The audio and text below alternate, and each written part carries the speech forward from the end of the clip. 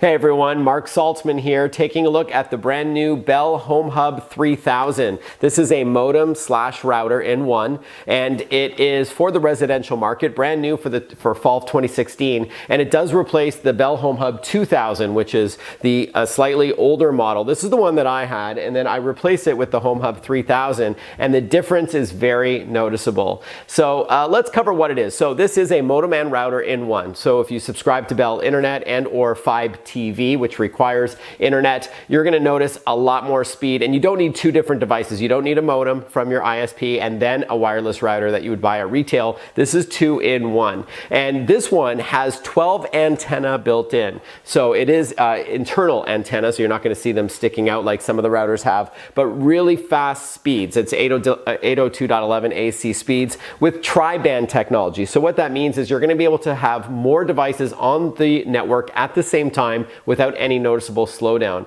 One of the things that I did notice with the Home Hub 2000 was that the more that uh, my family, we were all on the Wi-Fi at the same time, the more it impacted the performance. So one kid's watching Netflix, another one is playing on Xbox. You're gonna notice a difference, but not with the Home Hub 3000, which is great. And let's face it, everything is getting on your Wi-Fi network now. Your smartphone, tablet, ebook reader, laptop, desktop, smart TV, video game console, uh, even an alarm clock that I was looking at for my daughter the other day had built-in Wi-Fi, so you can listen to you know streaming radio stations from around the world when you wake up. So the more devices that go on the network, the more impact it is going to be on the bandwidth. You need a fatter pipe, and this is where the Home Hub 3000 comes in. So really great performance, very fast speeds, uh, also great uh, range. So if you are in a slightly larger home and you may have had to buy an extender or repeater, you may not need to um, uh, because it has a little bit more power under the hood. And it also has a built-in battery, which I like. So if if you um, if your power goes out in your home and you're on a, a laptop that's battery powered or a tablet or whatever, you may still be able to have uh, internet access until the power is restored. That wasn't the case